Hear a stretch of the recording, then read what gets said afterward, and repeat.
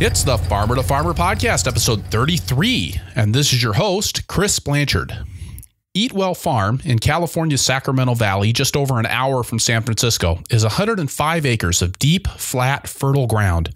There, my guest, Nigel Walker, conducts a symphony of employees, cover crops, lavender, chickens, vegetables, fruits, and herbs to provide for a CSA of 550 shares a week, as well as the Ferry Plaza Farmers Market. Nigel describes his systems for training and delegating to employees to create pride in their work and profits for the business. And we dig deep on the cover crop and chicken management system on his farm that allows him to grow vegetables year round without fertilizer or pesticides. I really enjoyed this episode. It really stretched my thinking about quite a number of things. I think you're going to enjoy it too. Thanks for joining us. The Farmer to Farmer podcast is brought to you by Vermont Compost, founded by organic crop growing professionals committed to meeting the need for high quality composts and compost based living soil mixes for certified organic plant production. VermontCompost.com. The Farmer to Farmer podcast is brought to you by Farmigo CSA Management Software, providing the tools you need to manage your CSA business. Farmigo CSA management software has a customizable management system to meet your farm's specific needs. CSAManagementSoftware.com. Nigel Walker, welcome to the Farmer to Farmer podcast. Thank you very much. So glad you could join us this evening. Well, I appreciate the invitation. Nigel, could you tell us a little bit about Eatwell Farm there in Dixon, California, and and uh, you know how many acres are you farming? What kinds of enterprises are you doing? How are you selling your products? Yeah, that's fine. I'm uh, I've been here since 1993, and we're in the Sacramento Valley, uh, about 20 miles um, west of Sacramento and about 70 miles um, northeast of San Francisco. So it's a it's a great location. We're three miles from I-80. Uh, we can be in San Francisco in about an hour with the wind behind. So it's a great location for a farm serving our customers. Now, when when you say that you're in the Sacramento Valley, is that what what we here in the Midwest would think of as the big evil Central Valley, or are you kind of separate from that? No, we're we're we're in the evil part. We're definitely in the evil part. I mean, uh, well, one little story actually. When uh, when I was looking to buy this farm, I, uh, I looked at this farm and said, "This is the place." And I, I actually got some good friends of mine who are local farmers to come and look at it to make sure I wasn't doing anything stupid. and and I said, you know, I said, look at this. So they came on the farm and they sort of sort of kicked the dirt around and picked it up and you know sort of rubbed a little bit in their in their palm and sort of didn't say anything for about five ten minutes and tasted the soil and said, uh, so so so what do you think? Am I you know am I being stupid or something? And they said they said this is boys' soil. I said, what do you mean? They said you don't have to be a man to farm this soil. So. Uh, so it's flat. Um, um, it, I, it was chosen by me because we have a reliable water supply. Um, you know, I really wanted a piece in this area because it had a reliable water supply. Like we haven't had no restrictions so far with the drought. Um, oh, really? Yeah, yeah. The reservoir that supplies the canal that runs in front of this uh, farm uh, has three years supply in it. So it's unlike many reservoirs in California, which are really primarily um, flood control. And so, you know, they, they have to keep a lot of space uh, in uh, the reservoir for floods for the next winter. Well, uh, you know, we keep, we've got three years supply. So, I mean, we've had no restrictions. And in the 50 years of uh, this dam's operation, there's only been one year when they were cut back. So you know, last time I checked, I told somebody re- recently, last time I checked, vegetables needed water to grow. So, uh, you know, that was why it was, we paid, I paid, a lot of money for this farm uh, at the time. Um, and uh, because, you know, as a, I'm, I'm, I'm, I, I, my only source of income is farming. So my life, my livelihood depends on it. Absolutely, 100%. We have no other source of income. So, you know, I got to get the right stuff. You know, you, you, I mean, and I know people farm on some very difficult soils and in very difficult situations uh, for many different circumstances. But, you know, I had the opportunity to buy a piece of prime farmland, so I took it. You know? You know, I, I have a friend who farms here in Wisconsin who started off farming in the hills of southwest Wisconsin and moved several years ago to an area more more up in the central sands, which is flatter just a lot flatter ground, easier farming than the than the heavy clay soils down around the Viroqua area. And she said to me, Chris, I didn't know I was such a good farmer. You know? well, and I, think, I think it goes yeah. right to what you said about a boy's it's boy soil. You know, you you why make it harder on yourself than you have to? Well, you put the same effort into a crop. Honestly, I mean, you're planting, you're you're cultivating, you're you're doing everything to the crop that's the same, and and you really have to find the best piece of soil you could that you can possibly afford in your area where you decide to live, because then that will determine what you get out of the soil, what your yield is.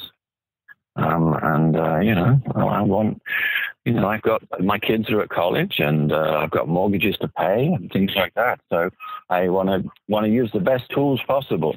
Now you've got a pretty sizable operation. I mean, not obviously the the sort of uh, demonized California mega farm um, that we're used that we like to bash out here, but but uh, 105 acres of organic ground there. Yeah, there's 65 that I pay a mortgage on and 40 that I lease from a local family. So, uh, yeah, yeah, it's um, but you know, the the guy who runs the canal refers to this as my garden. You know. Yes. so, in, in you know, I'm just a, I'm just this irritating little blot on the landscape for most of the local farmers. You know. Are you are there many organic farmers in your area?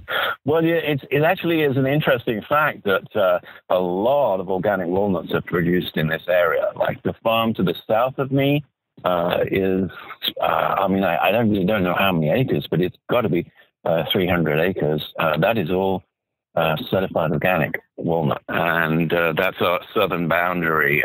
A lot of the orga- a lot of the walnut farmers see the sense in farming the walnuts organic um, purely financially, but you know, even some of the chemicals pretty nasty you have to use on walnuts, and if they can get a good enough price uh, for the organic walnuts to make up the any difference in yield, then they're they're on it, you know. And you've got vegetables and chickens on that 105 acres, right? Yeah, well, the, the way the farm works is that right from the beginning, we really wanted to do a CSA, the Community Supported Agriculture. And so that's how we've designed the farm. Um, you know, we've got uh, seven and a half acres of fruit trees, which are, you know, I mean, I've got uh, 14 varieties of peaches, 15 varieties of nectarines. I've got, you know, all different kinds of citrus and uh, uh, cherries and plums and apricots and apriums. Uh, you know, all designed so that you know they they can produce over a longer period if possible to make our boxes as interesting as possible. So fruits, we do herbs, we do vegetables. We even have been growing a small amount of wheat to produce flour. Uh, chickens are very much a part of the fertility of the farm, but obviously the eggs are welcome. So we're pretty diverse in that respect, yes. That kind of diversity, I mean, something that's not even possible here in the upper Midwest, is that standard in your area for CSA farms, or have you kind of taken that to a different level? Um, well, when I look at the local farms, uh, we've got Full Belly, we've got Riverdog Farm, we've got Terra Firma. They're all pretty, they're much larger, they're much larger than I am, but they are still pretty diverse too. They'll have a wholesale component. They'll have a uh, a CSA component to their farms, and they do some of them do farmers markets. And uh, yeah, they're I mean, like a farm like Full Belly is very diverse as well. So we're not that unusual. Um, but you know, that's four or five farms in a in a huge area. So uh, you know, on our block, you know, within the 50 miles. Um, so as the organic farmers go, uh, the mature ones, we're, we're not that unusual. And are you marketing all of your produce through the CSA? No. Um, I would say at the moment it's about 65, 70% goes through the CSA. Um, we do one farmer's market at the Ferry Plaza Farmers Market in San Francisco on a Saturday. That's about 15% of our business. Uh, we work with an online uh, retailer called Good Eggs. Um, and then we do a little bit of shipping uh, online because uh, one of my sort of hobbies that got out of control was lavender. So we have uh, we have three acres of lavender that we uh, cut, dry, sell fresh, and we just distill it and that kind of stuff. One of the things that really struck me as I was learning about your farm was how many different enterprises you're doing. I mean, you've got the vegetables, you've got the fruit, you've got the eggs. You've also got a line of herbal salts and a line of sodas. Yeah. Well, the thing is about all the different enterprises, they've oftentimes come at the suggestion of our members. So take the salt, for example. Um, you know, I was I grow lavender, and then I had a customer in San Francisco, oh, in the late eight nineties, who said to me, "Hey, Nigel, I just come back from holiday in Provence, and we were served a steak with lavender salt." And of course, I try I try and pride myself in paying attention, you know, um, and I said. oh, let me try that. So I, I got some salt and I got some dried lavender and put it on the steak and go, oh, that's actually quite good. So my next step was to buy all these different salts and grind them up with uh, different concentrations of lavender and um, hand them out to sort of chefy kind of people at the farmers market in jars. And, you know, so which one did you like? And of course, unfortunately, they all came back liking the most expensive salts. Of uh, course. Uh, yeah. But that's that kind of how that was born. And, um, and, you know, the thing is that there's one uh, lady, uh, who really just takes care of that side of the business for me. I mean, she makes the salt. She she manages. We have a we have a, a warehouse facility and a certified kitchen in the town of Dixon, um, and so she she makes she takes care of that, and she tells me, you know, when she's got a problem or when she needs something. I mean, I'm not standing over her. I'm not making the salt. And it, it, goes the same for the uh, eggs too. I mean, uh, Augustine's been with me for 10, 11 years. Uh, he runs the chickens. And while we've had a, a, lot of interaction this year because we've got a new uh, project with the, our dual purpose heritage breeds, but normally the chicken operation, he runs that and he'll say, hey, you know, I need, I've got a problem or I'll say, uh, you know, I just noticed something. So, uh, you know, I'm not involved in the day-to-day running. So I'm, I'm very much um, uh, not a micromanager. I'd, I'd like to think that I can train these people to do their job, make sure, you know, they can do it and they're capable and they're fully trained, and then basically get out of their hair. And uh, it really does seem to work. And uh, they really, you know, they run with it or not, as the case may be. But uh, when you find the right people, um, they take a lot of pride in their work, and it's really wonderful to see. It's always easy to manage people when you find the right people. How do you deal with it when you when you bring somebody into an enterprise at a, at a higher level and and it doesn't work out when they don't take it and run with it?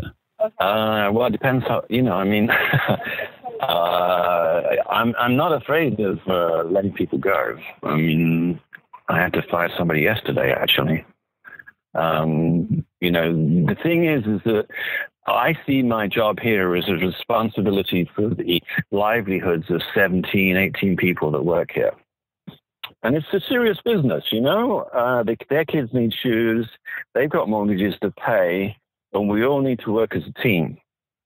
And so if there's there's two things, like somebody maybe not doing a good job because I didn't, and most of the time, here's the answer, most of the time they're not doing a good job because I didn't train them properly. Most of the time it is my fault. You know, okay, ah, I really didn't, uh, I didn't explain that. I didn't uh, help them with that, uh, you know, in the right situation. That's a little bit difficult, different to what I, we talked about and we, we can rectify that. So I find that you know right. that that's really where where it where it comes down to is making sure that you find the right people, helping them, guiding them, and gradually letting go of the reins. I like because it really is what you have to do to be able to to do something as big as what you're doing there at Eatwell. I think it's impossible. I mean, uh, I've had some health issues the last four or five years, and quite frankly, um, farmers done, you know, remarkably well considering. I mean, uh, I actually had the uh, ag commissioner come out and they, they inspect the farm for the producer certificate every year.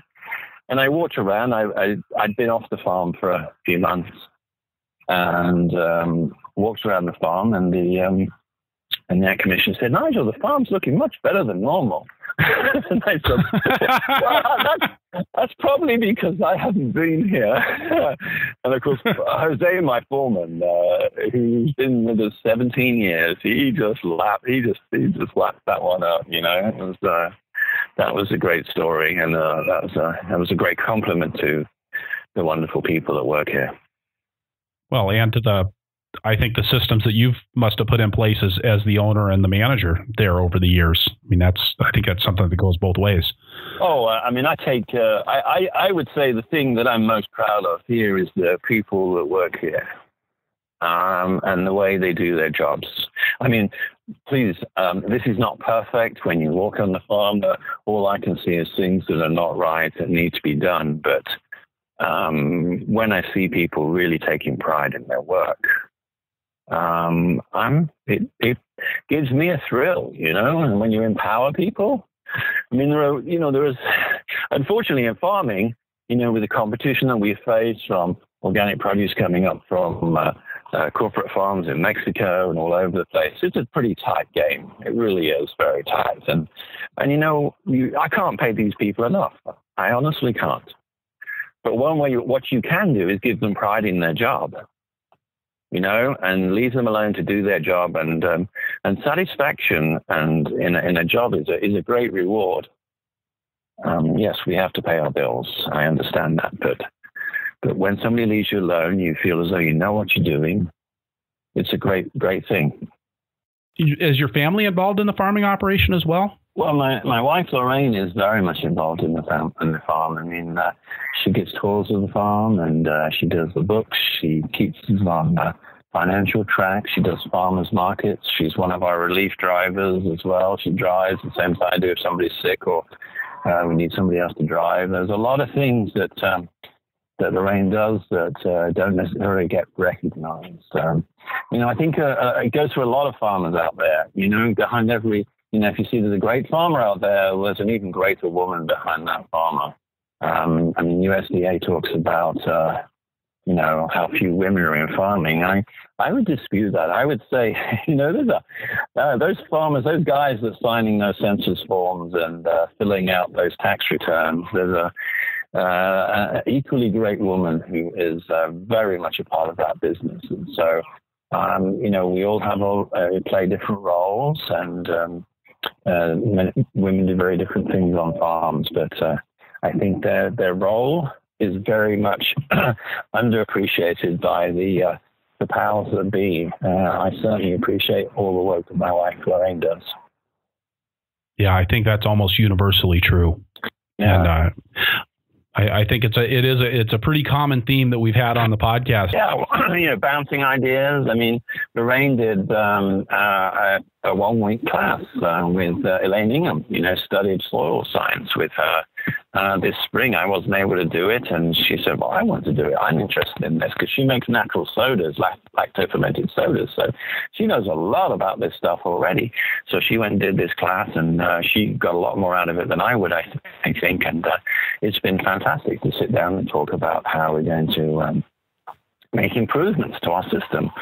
Uh, you know, we bought a microscope and we're going to assay our, our soils this winter, and um, you know, then we're going to start doing compost teas and see where we make improvements and different situations, different crops. So, um, you know, uh, she's very technically involved in the farm as well as keeping us on the straight and narrow. You told me a story earlier in the week about having another inspector come to your farm from CCOF, your your local certification agency, and and not understanding your input inventory form, um, and that there was there just wasn't much on it. No, that's that's. I mean, my wife Lorraine and I we've made some great changes over the last six or seven years, and and really from observation. I mean. Um, uh, I have, uh, you know, I was trained, I did a, a, vocational degree in England in commercial horticulture, specializing in vegetable crop production. I've always been on that organic bent, uh, much to my tutor's uh, chagrin. Um, But, you know, I would buy the compost from the dairy farms or the chicken places and put that on my fields. And I'd buy the pelletized chicken manure and buy the, you know, the seabird guano and all that kind of stuff. And it's like, this isn't, I'm bringing all this fertility from the farm in, onto the farm from places I'm relying on the fertility the farm's relying on these all these things that I really don't like and I detest. And so you know, over the years, I've been trying to get away from that. So in 2000, we went to using uh, compost made with food waste from San Francisco. Fortunately for us, it was not too far away that it's made, so the transportation was not horrendous. So that's when we switched there. And then, you know, over the years, I've been experimenting with cover crops and um, uh, gradually got into this system of where I. Um, uh, grow one year of a very diverse cover crop. We run the chickens over that. We uh, pasture the chickens over it. And then if we've got some sheep at the time, they graze it. Or if not, we mow it every time it gets to the uh, maturity level, which here can be seven, eight, or nine times a year. And in that way, right.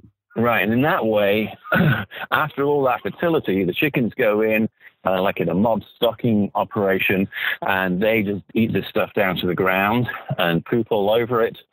And then we cultivate it up and we plant two years of solid vegetables. I mean, here that means uh, three crops a year, non-stop for two years, no rotations, uh, you know, no, you know, no absolute set rotations. I refer to it as the uh, the chaos theory. But just keep planting. Obviously, we're not going to plant cabbages after cabbages, and then back right. then back to um, back to um, uh, one year of pasture. So we've done that a few times, and and now um, we don't really buy anything. I mean, I don't buy compost anymore. I don't buy any organic inputs of any kind. I don't even buy calcium or limestone anymore. Um, and you know, when I when the inspector comes along, and uh, this new inspector about two or three years ago, and she said, "So, so where's your off-farm inputs report?" And I said, "Well, I don't have one." And she says, "You have to have one, Nigel." I says, "Well, I don't have anything to write on one." And she didn't. she uh, she was like, "No, Nigel, let's say we organic farm buy stuff, you know, kind of a little bit, you know, come on, Nigel, don't pull try and pull that one on me. I said, well, let's go walk on the farm, you know. And so um, we did, and, and it took a it took a couple of hours of walking around the farm and showing her the crops, and to put, to convince her that I did not buy in anything that year and uh, eventually she got it. Now, obviously, I think she, I think she had to change inspector this year or something, but uh, so as to start the thing again. But um, eventually, eventually, she got it because that's very different to a lot of my contemporaries and to a lot of the corporate farms, where basically you're re- you're replacing a bag of nitrogen uh, with a bag of pelletized chicken manure. And so that is pretty much a lot of what organic is. Um, we've also found the real benefit of this is that we're growing bigger, better crops. So you would say, okay, so Nigel, what are you an idiot? You're, you're taking out a third of your land. You know, take out, uh, got 60 acres in the vegetable rotation. I'm taking out 20 acres a year. You're losing 20 acres of crops. Well, as it turns out, is I'm now growing more on those 40 acres than I was on 60 acres with a lot more costs. So my farming. This is, is something I'm hearing again and again from farmers, and especially folks that have been in it for a long time, is that that following the land really pays. Oh, absolutely. I mean, that's what saved me over the last four or five years. I mean, it's got pretty tight, and um, you know the fact that um, I mean, one of my heroes, hey, uh, Gabe Brown uh, from the Dakotas. He farms 2,000 acres. Uh, he's a rancher uh, does these incredible cover crop mixes, which I, uh, I, I, I listen to Gabe and I learn a hell of a lot. And Gabe says, uh, he says, I like to sign my name on the back of the check, not on the front of the check. right? I, I have an adverse reaction to writing my name on the front. So, which I think is a pretty good thing for any farmer to. Uh, uh, philosophy for any farmer is to, uh, you know, accept checks rather than send out checks. Um, so it's not to say we're not saying we're making tons of money here. We're not. But um, you know, I think we are still solvent and still going in spite of many different things because we've managed to reduce the input costs on the farm. Is there anything else that you're doing for for your farm now that you're not? I don't, I don't know what else it would be, but you know, the idea that you're just doing a year of chicken, sheep, and and pasture, and then turning that into two years of vegetables. Where's the secret sauce? I mean, is this something that somebody could just jump in on uh, right away, or did it take time to get that system rolling? And and then I want to ask about the pesticides too, because I'm a I'm a little bit shocked that you're not spraying anything. Well, that's two issues there. What should we do? Well, let's deal with the pesticide pesticide issues. So um, I want to get up in the morning, uh, not thinking about what I'm going to kill that day. I would like to get up in the morning and like to feel. I mean, I know this sounds a little pedantic, a little uh, presumptuous or whatever. But you know, I, I, really don't like getting up in the morning and thinking, okay, let's get well, let's get the sprayer out. Which, you know, I mean, I've had some pretty big organic farmers come to visit, and you know, who admitted to me they're spraying every week. The problem with a lot of organic sprays is that they're not very specific. Um, and they tend to kill the good guys and, and the bad guys at the same time. So it's like this uh, addiction you get to. You know, you go through and you spray to kill the aphids or this bug or that bug, and you're spray, you're also killing all the good guys and the good girls. Now, if you can, if you can, if you got the stomach for it, and it does take some stomach, and this has been a, a more recent um, benefit of the way we're farming. Um, if you are prepared to lose the occasional crop or write in your newsletter and saying, sorry guys, uh, you know, the chard's got a few holes in it this week, um, um, you know, and explain, then, um, then it works because I really believe that the chickens here, as the most incredible uh, cleanup crew a farm could ever have, I really believe they are making a huge difference. Uh, they, they're cleaning that pasture. All these, they eat stuff and I can't even see what they're eating, right? And they go crazy on right. some area. And, you know, what they're eating, it really does seem that we have a much lower level of pests. Now, you know, I've just, this week's box had chard with holes in it. Um, I had some dry beans that I lost to a uh, uh, cucumber beetle this year. Um, but I didn't lose all my beans, uh, but it's not the end of the world.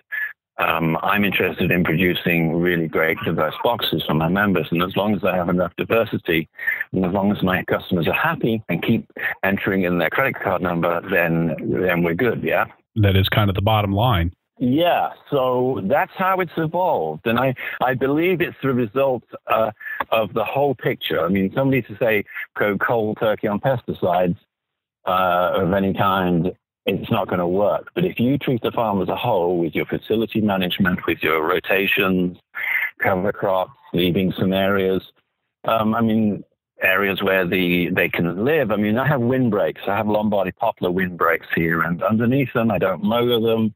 Um, you know, and they've been been there for many many years, and they're places for the good bugs uh, to live and to hide. I mean, underneath my orchard too, it's the same kind of deal. Like, as long as it's got a good crop on it, as long as there's enough fertility to, you know, produce a great tasting peach, uh, why should I do anything? Why should I mow underneath it?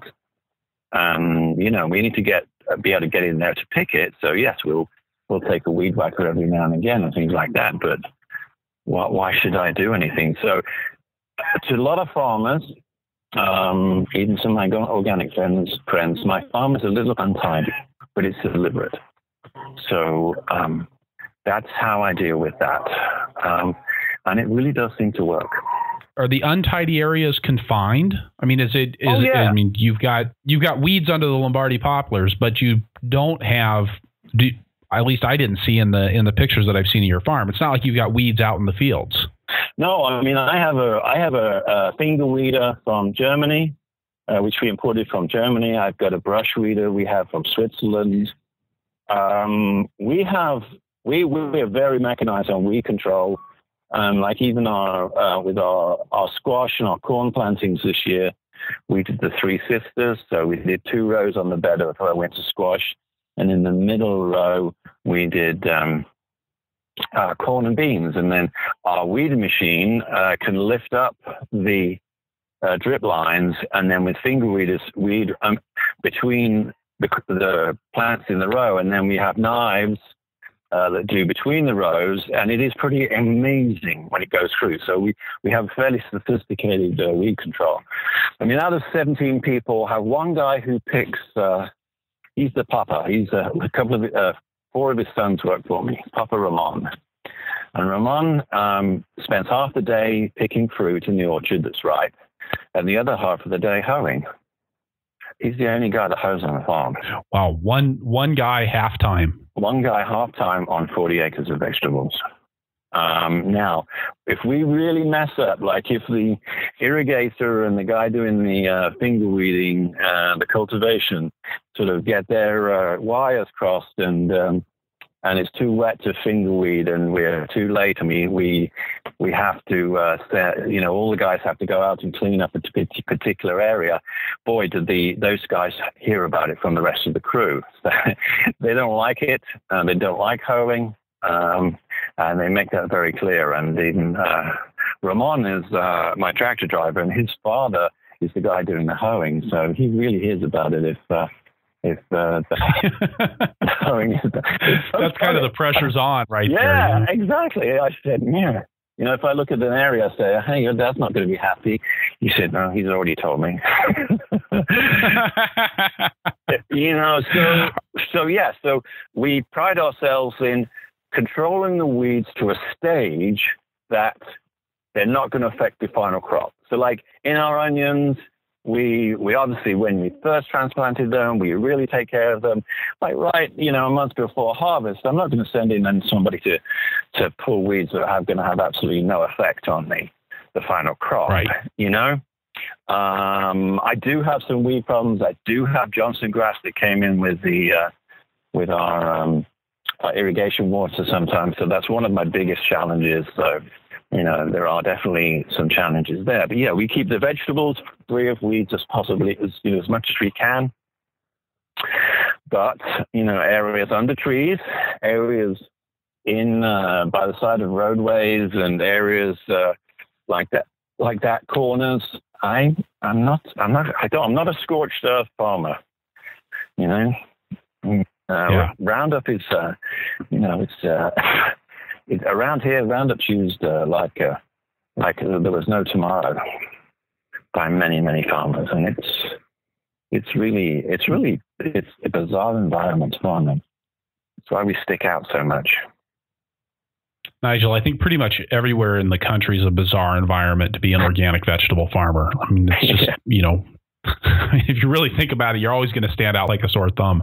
Right, right. Um, so, so talk to me about the fertility then on the farm because this is something that I see when I go around to a lot of, especially beginning farmers. Um, a lot of farms are kind of under fertilized. I mean, you you know you can see it. The plants just don't look that robust, and and it's surprising to me to hear that you can have your land in a year of of cover crop and chicken poop, and turn that into I think you said six crops now, three three yeah. crops a year for two years of vegetables. Yeah. And and be getting good quality, high yield vegetables off of there. Is there something else that you're again? What's what's the magic sauce here? Well, the magic sauce is, um, I think, is education. Um, I mean, there are some incredible people out there. My my real heroes. I mean, Elaine Ingham, the soil scientist. Uh, you got Jill Clapperton. This is there's like five or six of these ladies around the world who are just, I mean, you can listen to them on podcasts and on YouTube, and they talk a lot of sense about building fertility in your soil, providing the right environment for all the bacteria and fungi and all the soil life and all the benefits that that can bring a farmer. Now, it takes some study, it takes some time, but you know, you guys in the Midwest, you got a lot of got a lot of time in the winter compared to us. So Um, you know, read, listen, all that kind of stuff. So that's a great education there about the science behind what we do. And then you've got the practical farmers like Gabe Brown. You've got Will Harris from uh, White Oak Pastures. Uh, two guys that are really doing this on a huge scale because some people say to me, oh, you know, Nigel, it's all right for you and your scale and, you know, sort of herb circles and that kind of stuff because I think I'm a small farm. Say, no, no, no. I am learning from really big farmers. Sure, I've done my permaculture design course. I'm very much a permaculture kind of guy uh, a straight line permaculture guy. Um, but the real heroes and where I'm really learning a lot is from people on huge acreages. I mean, like Alan Savory, okay? I mean, he is just incredible. And I hopefully I, I try to listen and read everything that Alan says. And, you know, his stuff is based, a lot of his stuff, the way they they do their um, grazing techniques is based on work by uh, Andre something, a French guy, and uh, his yeah, Voisin. Really, yeah, yeah. I mean, and so you know, Alan Savory's put 50 years into this, and he's right. I can unequivocally say that Alan Savory is 100% right, and it works on my farm. Now, I don't have cows. Well, I do. I have a few house cows, but I have my my my big herd of buffalo is chickens, you know, or a mower. You know, I mean, I I my you know if I've got a cover crop that's at the right stage of growth, and I my chickens are at the wrong side of the farm or whatever, uh, my my buffalo is a is a flail mower. Then we flail mower it down to about three four inches off the ground, just as if the herd came through and uh, you know, and then the plants will uh, give out the root exudates and the uh, all those good stuff that happens when, when a crop is uh, given a, uh, an impact either by the animal or by a mower. And you do that repeatedly, and you're flushing all these all these exudates from the plants into the soil. You're you're generating all this growth of uh, bacteria and fungi, and then you've got all the animal life, which then release the nutrients for the for, for the crops. And we find that our fertility is building. So, so one year is a cover crop and pasture. The chickens come through, and obviously they poop on the ground. That's some fertility. And then we go, then we grow. Uh, you know, after that, I might plant potatoes. I might plant, you know, in the highest fertility year, I might plant potatoes and peppers and things like that, with no other inputs. And then after that, I might put in cabbages and lettuces and things, uh, and then maybe tomatoes in the last year, the second year, because, you know, I don't want the fertility to be too strong for those. That can be a problem too. And then you come back again and do it again, and the the resulting the year after that, you've got even more fertility. We actually we, we, kind of shooting ourselves in the foot sometimes here because the last couple of years, we've had some broccoli harvests that have been too big to put in our CSA boxes. Because, well, I, I, I know this sounds crazy, and I, I really, uh, at, the, at the risk of sounding as if I'm boasting, and I don't really, this is not what it's about. I'm being very serious here. On this soil, in our situation, with our rotation, we have been producing broccoli that is the size of a small dinner plate. Now, some our customer who lives in a in a tiny flat in San uh, apartment in San Francisco, paying five thousand dollars a month rent in a tiny fridge because they can't fit anything else in there. You give them a huge piece of broccoli like that, and uh, oh my god, and then they they cancel their box for the next week because they got too much. Right. Because they're working for Google and they've been uh, fed two meals a day at Google, you know.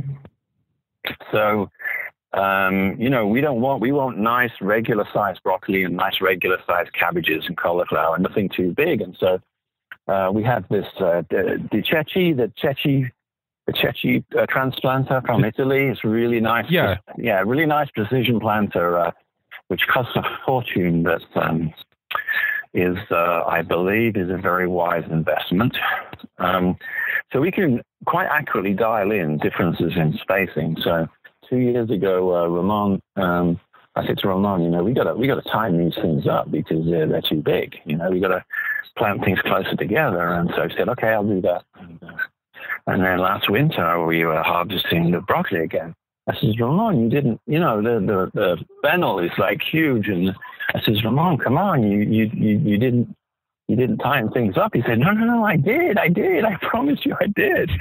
uh, and uh, so, you know, this is out of, after two, two sets of rotations. So, I, wow. you know, this, this, this I, am I'm, I'm very aware here. This, uh, this, this, this doesn't come across well, but I can tell you from my experience of 33 years of farming, uh, in many respects, using these fairly simple techniques, my farming has never been easier.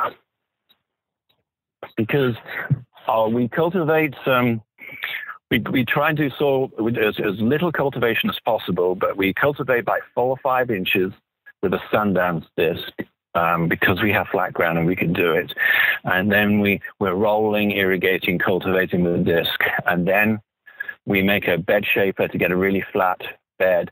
But, you know, we're really only going down four or five inches So try and trying not to just disturb as little soil as possible and then transplanting right. into that. So, um, you know, we we cultivate, we mow the previous crop and we we uh, disc and we irrigate and we roll and we make beds and we plant the next crop and again and again and again. We just keep transplanting or or sowing seeds and uh, I don't have to. I mean, I used to have done this all before. You know, okay, so I'm going to put peppers in a piece of ground. Okay, so that means I need to put a, a double or triple dose of compost. I need to put some feather meal down. Once the crop's down, I've got the drip. I've got to uh, pump in some fish emulsion, and then I've got to pump in some calcium for blossom end rot. Uh, you know, all this kind of thing you've got to do, and, and, and watch your crop. Any deficiencies or anything, I don't do that anymore we just make the beds for the peppers just like any other crop and put them in the ground and they stay green. And we get a great crop. It's really amazing. I said this before, but a lot of the farms that I've worked with recently who are who are really crushing it are relying much more on systems that are about doing what would you call it? It's almost like doing the farming ahead of time. I mean, you you taking the ground out of production, putting it into putting it into the cover crops, managing those intensively and intentionally, and and then following on with that with crops and and weed control that actually works and and it's almost like the it almost like it well it's what you said it makes farming easier not harder yeah and it's a whole system i mean it's not treating in any crop individually it's like saying okay here if i if i grow a good soil i can forget about the vegetables I really can. I can forget about them. I don't have to worry that my, you know, my peppers have enough nitrogen. And uh, it's a bizarre thing because you know I was I, I was I, I I did the I did the proper route, route you know I was I went to college. You know I have the proper calculation. You know I'm supposed to know what I'm doing you know? I'm supposed to you know apply so many units of nitrogen whether it be organic or not and and uh, apply these pesticides, organic or, you know, but yeah, it's like, um, yeah, but then that's not, I, I'm very, I probably have been too simplistic about our cover crop yet. I mean, we put a lot of effort into, we make beds just, just like we would for vegetables for our cover crop. We take that same care. Then I have all these different mixes, and I've been experimenting over the last six years with different mixes of um, ryegrasses and clovers and um, uh, all all different things. And now it's just basically after you know what a lot of, of Gabe Brown and his contemporaries um, I've learned from them is the diversity is very important.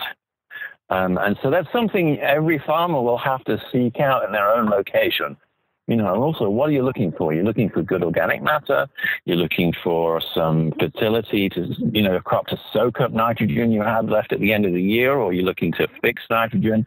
And how does your climate, uh, what what crop, what cover crops does your climate allow you to have? And so, having a good having a good seedsman who understands cover crops. You know, if you call up and say, I want to buy some cover crop seed and say, well, what are your, uh, what are you trying to achieve? What are your limiting factors? You know, then that's the guy to buy a cover crop seed from because he understands what cover crops do and what they don't do.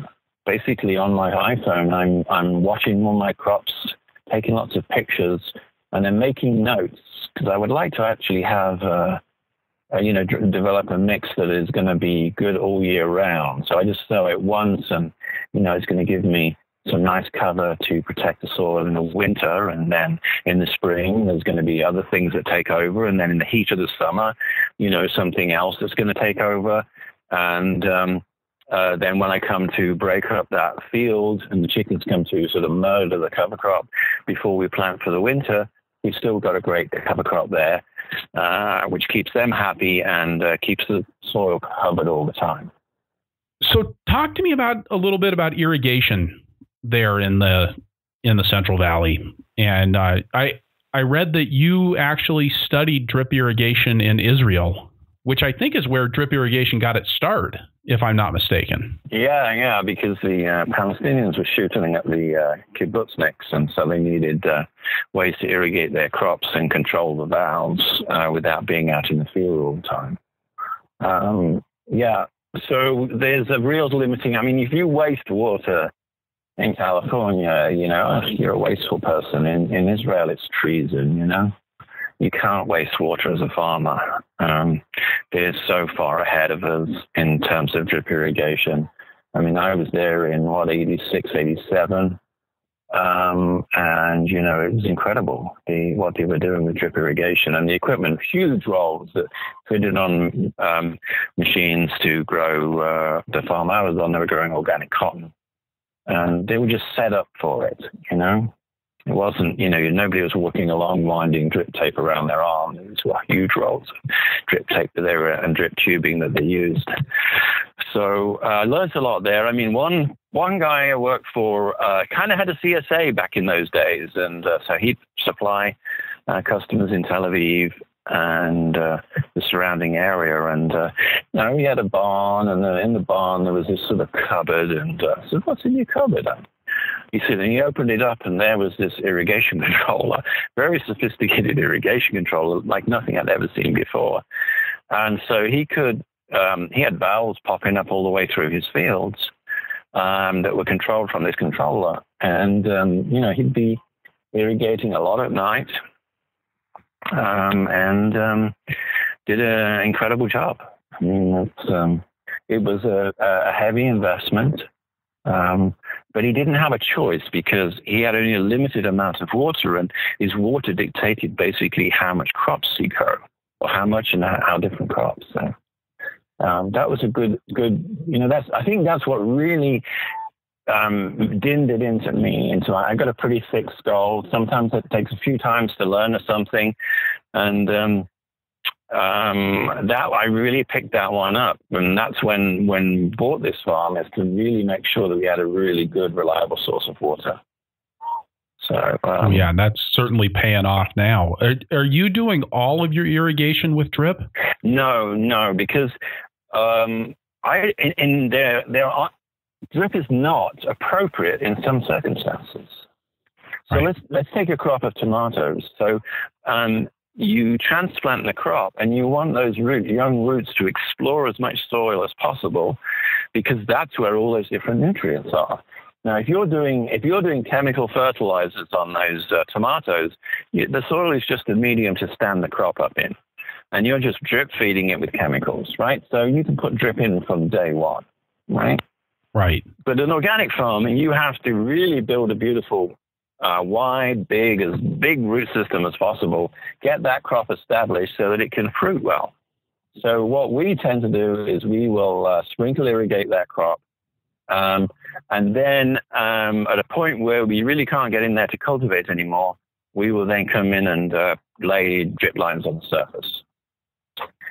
And uh, then that that goes for quite a few crops, except so obviously the winter crops, cabbages and things like that. We we start them with sprinklers and then they get fed with rain or more sprinklers if it doesn't get if it, the rain doesn't come.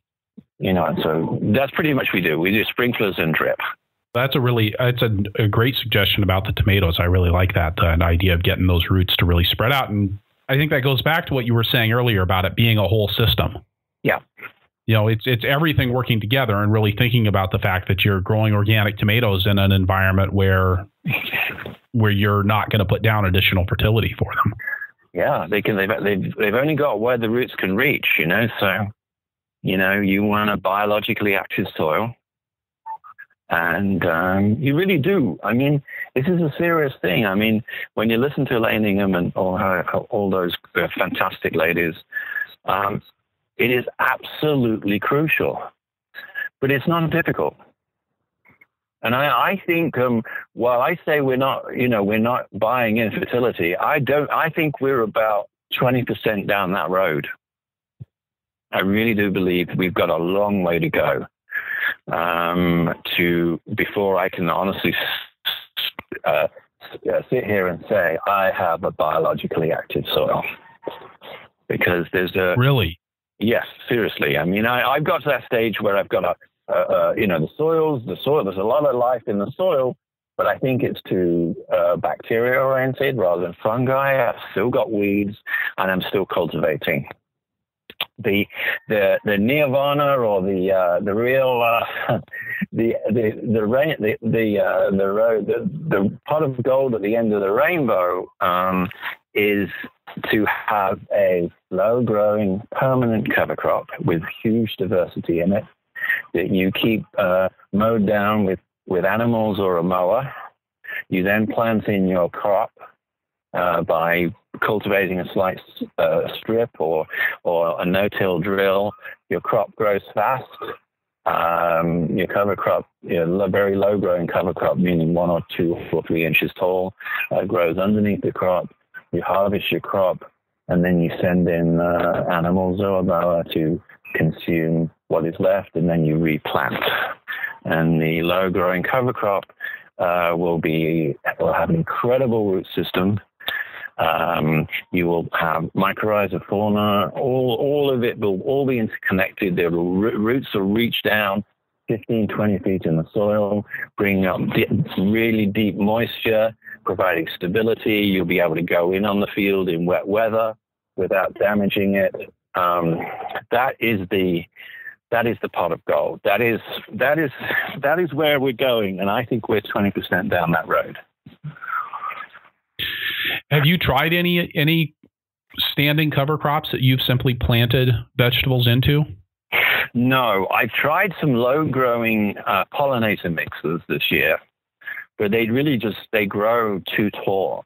Um, and Elaine Ingham has this list of um, all these different um, plants that would she should suggest that they might be useful. But you know, trying to get seed of some of these things is really, really difficult.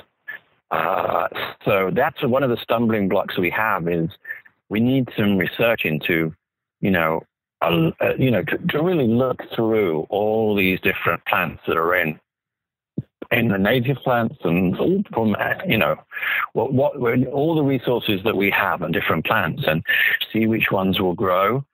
Um, because also, let's say you put in uh, a low growing cover crop mix of 15 or 20 things. You know, the winter might be cold and wet. So, you know, the next summer, you know, some of them, you know, three or four of them grow. Then the summer might be quite cool and different ones will grow. So you need the huge diversity to give you that um, uh, coverage over the years. Um, and so there's so much work to be done there. And we're only just even just scratching the surface of that. But that is our goal here is to really eliminate cultivation and just basically have the tractor go through with a no-till drill or a strip tiller and the transplanter coming behind and then have a whole diversity of animals behind it because, you know, you talk about diversity of cover crop. I mean, we want loads of different root exudates. I, the party underneath the ground has to have a smorgasbord of food. Otherwise, you know, just to give it like vetch or ryegrass, okay, that's okay. But, you know, you can't live on sugar alone or burgers alone. So the more diversity of food that you can give the soil life, the better. And then also the more diversity of animals on top gives you more, again, that, that sort of, multi, it's a multiplier. Um, and so that is critical too. So all of that together um, is where the uh, is, is that's the, I'm not sure that's an end point, but that's a goal uh, that uh, seems like a long, long way away at the moment, but we're, we're, we're it's a journey. well, like and Nigel, I think you're you're the. I mean, you clearly aren't intimidated by those sorts of genetic journeys. I mean, you've you're in the middle of this project with the the chicken breeding to be right. able to develop your own genetics on the farm. Could you tell us a little bit about that? Yeah, it's kind of the same as what we've been doing with our ALM tomatoes. I mean, basically, you're acclimatizing a crop or a chicken to the farm. So, you know, uh, we, we got these chickens, uh, we're part of the uh, Sustainable Poultry Network. And so we had Jim Adkins has heads that. And uh, so he convinced me that uh, I could do that. And I said, okay, let's do it. And so you take a bunch of chickens from a breeder, uh, really the best of the best. You bring them on your farm and you see which ones thrive. Um, you know, ours came from North Carolina, and you put them in a California environment. You raise them up, and you say, okay, you know, this male and this male and this male did really well, and the other 97 didn't do well, so they go to slaughter. Um, and you keep the really good ones and the females. Uh, you know, we ended up keeping half the females. And so we divided them up into three families, and the best male goes with the best females, and then we, you know, we trap nest them as well and record, um, you know, who uh, who's laying the be- most eggs, and we have uh, our incubators, and we're we're raising about 130 chicks a week, and so and these are the best of the best. And then uh, the females go into the laying crop, and uh, and uh, and the males go on ice at about 17, um, 18 weeks old. And so that's been we've been selling those to our members. It started started a little slow um, in terms of sales because you know they they're expensive to raise, so there's definitely some price pushback. But people are really tasting the chicken. We use black australorps um, so that's it's it's it's a real simple thing. I mean, just think about it. You know, what I need is I need to totally select each year the best of the best, and in that way, I'm acclimatizing the chickens that really like this climate. They really like the food regime. They really like being at Eatwell Farm, and the ones that don't like it, go. You know, right? And then the, the same thing happens the next year. You know, and so uh, we're hoping to make 5% improvement a year for five years, and that'll be significant improvement. But then you take these chickens, I like say you take them, you know, a thousand, uh, a thousand or 800 miles north um, up into Washington, and maybe they don't do so well, and you have different ones that thrive. But that's the great thing. You're, you know, you're not saying, oh, the black australorp is the best chicken. Well, it might, you know, my strain of black australorp does well in my situation because I've selected it for it, but that's not necessarily the same strain as what works in, um, or the same breed that works in Tucson or in, or in, um, you know, in uh, Madison, you know, Wisconsin. So right. it's understanding that. I mean, Joel Salatin talks about this. It's like you select and breed for, for, for animals that do well in your particular climate. And you don't get necessarily so fixated on, you know, the red Devon is the best uh, cow in the world, that kind of thing, you know? Because, you know, we're in the business of um, producing uh, food for people at the best possible price and doing the best possible job we can. So that's one of the ways that farmers have always done it for uh, many thousands of years. Hey, Nigel, we're going to take a break here and get a word from our sponsors, and we'll be right back. The Farmer to Farmer podcast is sponsored by Vermont Compost. Karl Hammer, the founder and the owner of the company, likes to describe potting soil as a set of promises. A promise that it has the nutrients the plant needs, that it has the microbes the plant needs to help forage those nutrients, and that it's free of weed seeds. I used Vermont Compost Fort Vee as a blocking mix and potting soil for over 12 years on my farm, and we grew some great transplants with it year after year in soil blocks and in traditional cell flats. We even grew rosemary plants in pots for multiple years, a real testament to the structure of the soil, which can keep the microbes alive over an extended period of time and provide good aeration for the roots on an ongoing basis. When you put plants in containers, whether it's a five year old rosemary in a 20 gallon nursery can or a 24 day old lettuce seedling in a 1020 cell tray, you need an optimized matrix of materials that can produce a healthy plant within a restricted media volume. Vermont Compost potting soils provide just that consistently year after year. VermontCompost.com. The Farmer to Farmer podcast is brought to you by Farmigo CSA Management Software, providing the tools you need to manage your CSA business. Farmigo CSA management software is designed from the ground up to manage the CSA you operate, from customer sign up right through delivery. Farmigo staff will work with you to customize the dashboard for your farm based on the way your CSA works. System setup is free, and the system can be configured for a wide variety of CSA models, from the traditional box plan right through fully modifiable boxes. On the customer side, Farmigo offers a portal for members to sign up, make payments, and access their account to manage vacation holds and site changes, all with the control by the farm over what can be changed and when the changes can be made. On the farmer side, you can send fully customizable confirmation emails and auto responses and generate reports to help you manage everything from harvest and loading the truck right through delivering the CSA shares. And they offer amazing customer support to you at no charge. They'll even call you if you need help. Learn more at csamanagementsoftware.com. So, could you tell us a little bit about how your CSA program works? Um, you mentioned, and, and this doesn't this doesn't feel like CSA to me when you when you say that you send too much broccoli to somebody and they cancel their box for the next week. That's that's right. a model that I guess I'm not that familiar with. Right. That's uh, you know we we do CSA a little differently in California. I mean that's not to say that there aren't some uh, uh, Midwest and East Coast models that operate quite successfully here. We have a we have a customer base that is uh, traveling a lot, um, that is um, uh, Oh, it's it, there. There's families and, and such like. I mean, somebody might email me, or now they go onto the website and do themselves with their with their uh, schedule for the next three months. You know, and they might be a month in Germany. They might be back for two months, and there might be another trip. And so, you know, the you know, I would lose a lot of customers if I said you have to sign up for a year, you have to pay me for a year, because so many things can change you know, we get a lot of people in the tech industry who who don't necessarily know where they're going to be working in three months' time. You know, because they they choose to move around a lot. Um, right. You know, they move campuses too, so maybe they can't pick up their box at one particular location. So, what we do is we sell um, uh, boxes in batches of four, 13, and 26. So, you know, somebody's going to uh, sign up, they're going to pay for four boxes, which is um, uh, they're twenty nine dollars each, and they can get them every week or every other week. If they're going out of town, they can go online to. Uh, we use uh, local harvest uh, service.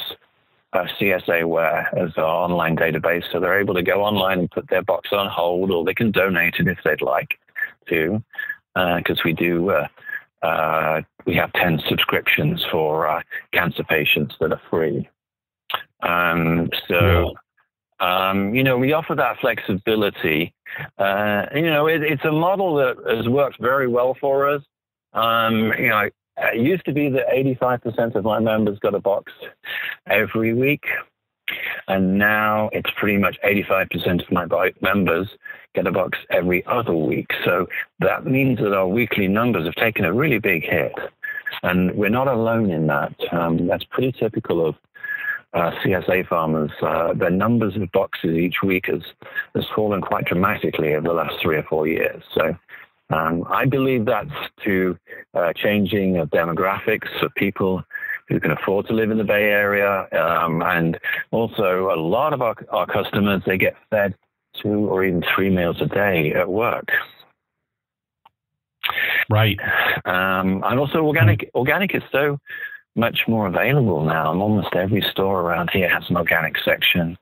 And, uh, you know, I'm, I'm really not selling that much to stores because it's a lot of stuff is coming up really cheap from Mexico and certified organic, you know? Um, yeah. And, you know, like my crew says, uh, you know, what, what I pay them in an hour, they get paid a day in Mexico, and there's no workers' compensation, there's no safety training, there's none of this stuff here. So uh, that's that's what I'm really saying is why it's become very competitive. Uh, the last four or five years, it's it's not been easy to uh, make the numbers work at the end of the year. Um, you know, we we've got a very loyal customer base, so we're not going anywhere. Um, but still, um, you know, uh, money is energy to do things, and to make changes on the farm, I need I need money. It oils the wheels. I always uh, a very wise person once took me to one side a long, long time ago, and she said, "You know, you got to have the right attitude to biz, to money and business." You know, said that money is energy, and you need that energy to do everything you need to do for your business. And so that was that's really helped me. Um, sometimes when you wake up at three o'clock in the morning, worrying about money, um, it's sort of helped me uh, deal with those issues. And so, yeah, so it, it, does dictate. I mean, like for the chicken enterprise where we had to, you know, buy incubators, pay for our consultant, pay for the chicks, all the kind of stuff, it was 20,000 bucks. And, you know, members wanted me to not buy chicks from these hatcheries where they kill the males, you know? And so I said for a long time, I said, well, I'm not sure I can do this. I, I you know, and then we met uh, Jim Adkins on the Sustainable Poultry Network. And so we figured out a way and Jim walked us through the whole process. But I said to my members, but I can't, I can't do this. I don't have 20,000 bucks kicking around. Um, I need your help. And they, they, they absolutely came up to the plate and um, we were able to do it. Now it's cost a lot more than $20,000. But that initial, you know, buying all those incubators and uh, setting the whole thing up. That's great that your members were willing to step up and, and meet you there. Yep, absolutely. Um, it's been, yeah. I mean, that's that's the other. So I, you know, I said that the greatest thrill was uh, the crew, but um, uh, I I have had some pretty poignant moments uh, over these uh, so I started farming here in 93 and the, some of the members have been with me since the beginning, either buying from us at the farmer's market. And uh, I was uh, a couple, few years ago, I was in hospital at uh, UCSF, you know, and um, uh, in San Francisco, a great uh, teaching hospital, a fantastic care. And uh, a lady came into the, my room. She said, I'm your physical therapist you know, my name is so-and-so. And she said, uh, I've been a member of your farm for the last 10 years and you've fed my children. And now it's my turn to take care of you. And, uh, you know, I'm not, uh, you know, it's, uh, it's, it's, uh, you know, that community is incredible. Um, the help that I've been given, our family's been given, uh, is, yeah, that's I, I work for my crew, but I also work for the community because when that when they send that money in, it's not my money, right? It's the farm's right. money. It's the farm's money. I do the best I can with people's hard-earned money. And, you know, I take very little out of the business, you know, obviously, you know, medical expenses and, uh, you know, or what we need to, you know, family expenses and things like that. But, you know, I have the I have the junkiest car on the farm. Um, you know, it's it's uh, this is a passion. This is a disease, and I'm a very lucky guy that uh, my wife uh, totally agrees with me. Um, she's passionate about the farm. Uh, she loves cooking, so uh, it was amazing. I, I finally found a, as my mother would say, finally found a woman, uh, the right the, the right woman, um, and Lorraine loves to cook and I love to grow things. So the deal we have is uh, I grow it, she cooks it. About the best deal I've ever done in my whole life, I tell you. you know? That's great. I like that. Yeah. That's really great. So it comes down to people. It comes down to people and relationships. You know, and uh, it's a it's a wonderful thing. I'm a very very lucky guy. Thank you, Nigel. So um, at the end of our shows, we do like to do a lightning round. A few quick questions for you here, just to to get okay. down to some nuts and bolts stuff. Um, what's your favorite tool on the farm? Uh, the finger weeder. So tell me about a finger weeder. Yeah. Well, it's um, if you go onto YouTube and uh, type in Eatwell Farm, you'll see uh, some videos of, uh, uh or even type my name in Nigel Walker or Finger Weeder. Um, you'll see it's uh, uh, two circles of fingers. They're rubber fingers or just plastic rubber, whatever.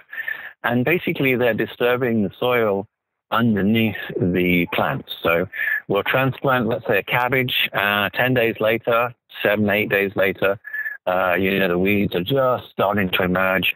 Uh, you go in and you disturb the soil, and those weeds are gone. Um, and then you keep doing that uh, every four to five days. You know, like after that, we'll we'll we'll irrigate. As soon as it's dry enough, we go in again. As soon as it's dry enough, we go in again. I mean, the best time to use a finger weeder is when you can't see any weeds. And in that way, we can we can completely um, control the weeds in a crop, a transplanted crop, without taking the hoe into the field, like cabbages, cauliflower, uh, um, uh, fennel, you know, things like that. It's um, and the, really the time when we take the hoe in is like, oh, we mess up of this you, you know, a pipe leaks or a pipe bursts and it's too wet and all that kind of stuff. Those things do happen. So that's why I love that machine. Right. Yeah.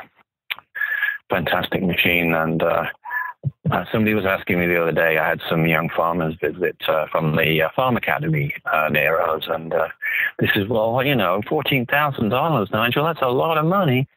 And I said, uh, I will stand here and say that that pays me back every three months in saved labor. Just on the weeding alone? Yes. Yeah. On 40,000. Yeah. 4,000. Uh, sorry, on 40 acres of vegetables. Yeah, it pays me back four times a year. Because we're not hoeing in between the, the, the cabbages by hand.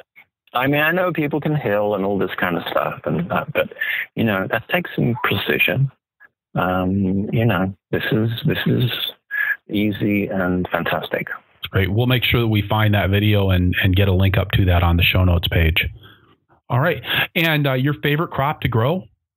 Ah, that's a tricky one because we grow. I grow. always say we grow too many things. If I'm asked how much we grow, uh, God, I, you know, I can't answer that. I can't on, honestly answer that. I mean, I I scrambled. I scrambled through the earth in the first week of May this year, because we plant potatoes in um, late late uh, January, early February, and I scrambled and got a, a, handful of new potatoes off two or three plants, and I brought them inside, and Lorraine cooked them up, and we had them with butter, and they were mind blowing, you know.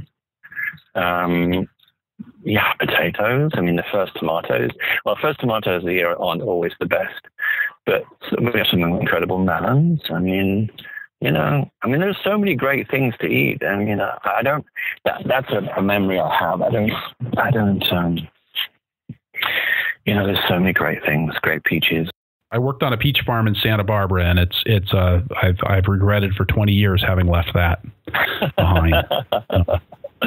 yeah, I mean, and, and flavor is such a um, such a uh, it takes you back. I had one lady call me about seven o'clock in the evening. This was a good few years ago, but she called me back. She was crying, and I picked up the phone and said, "You know, is everything okay? Was your box okay?" And she said, and eventually she calmed down and she said she'd taken the potatoes and uh, she just boiled them up and just had a plate full of potatoes and butter because that's really she was just so tired from work, and she bit into the first potato and know, the on it. And she said she was immediately transported back to her grandfather's garden. She could smell him.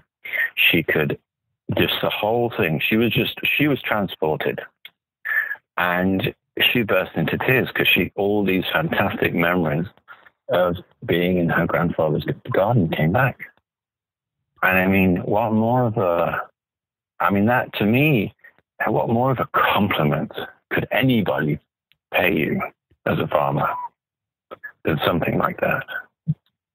And, um, you know, when members say that, or this is the best chicken I've ever had, or these are the best eggs I've ever had, that's, that's reward enough.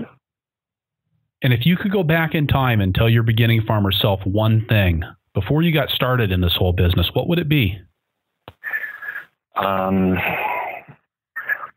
to think permaculture from a very early stage because that's where we're going. We're actually doing a lot of alley cropping.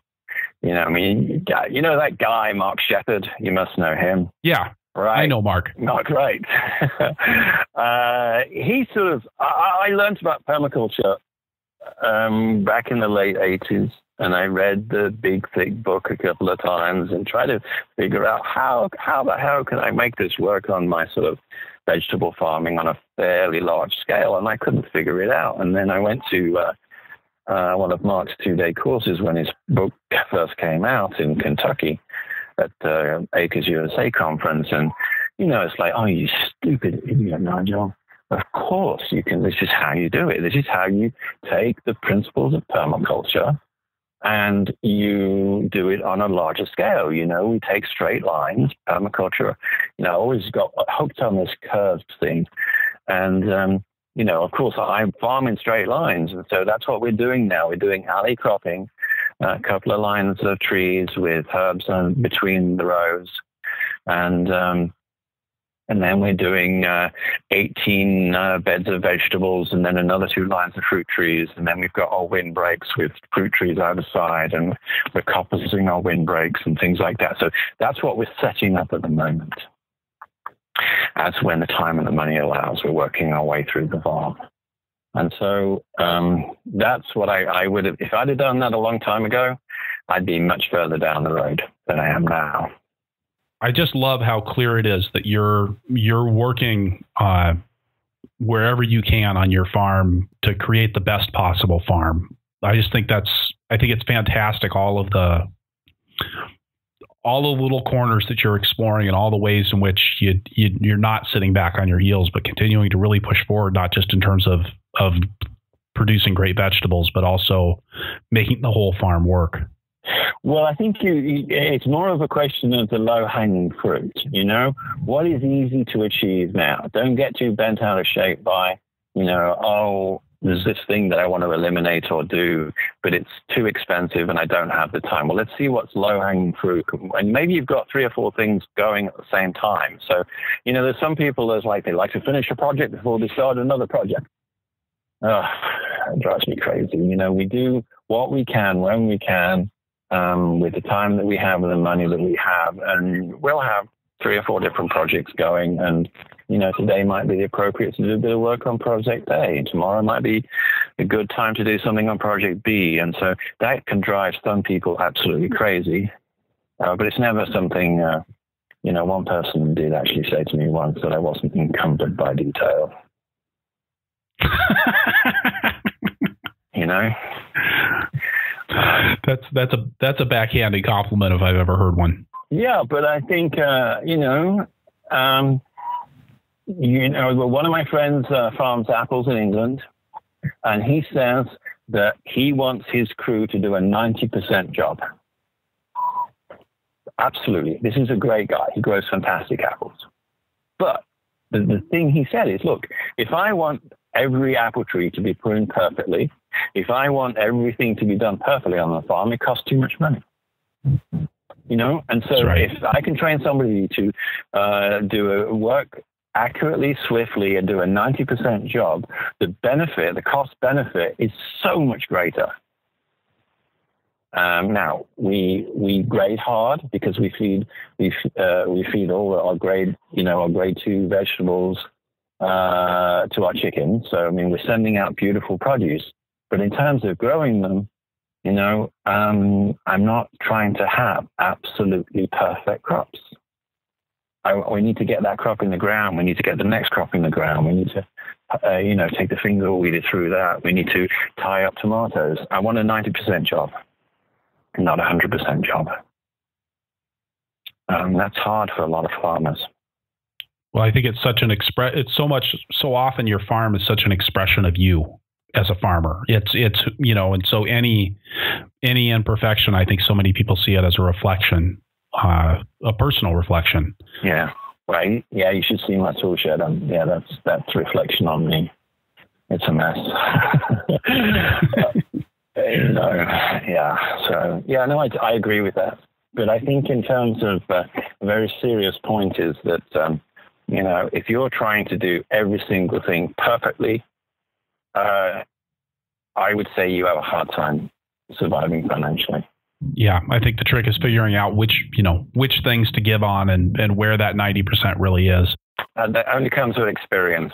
Yeah, that would be the hard thing for your beginning farmer self. Yeah. Uh, I think. So. Yeah. All right.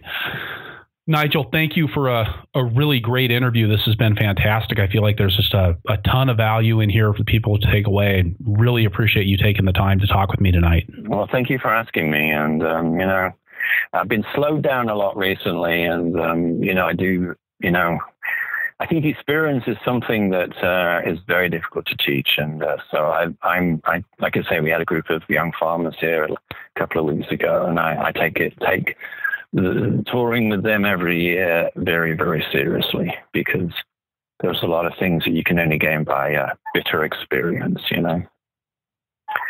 So thank you very much for asking me. Thanks, Nigel.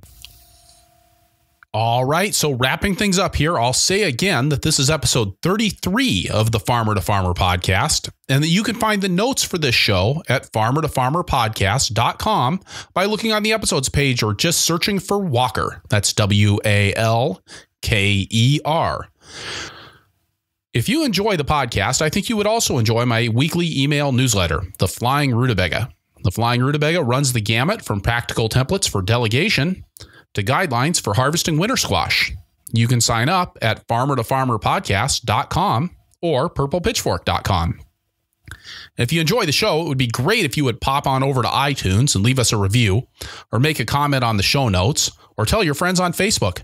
These reviews and referrals are the bread and butter of making this show available to an ever wider group of listeners.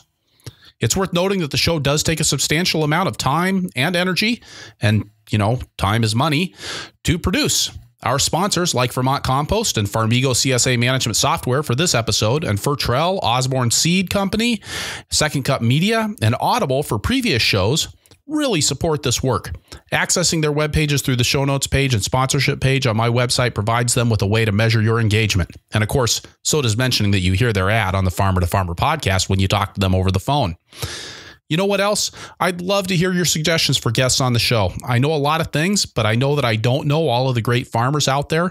Please visit the farmer to farmer podcast.com and use the contact form to tell me who you'd like to hear from on the show. Thank you for listening. Be safe out there and keep the tractor running.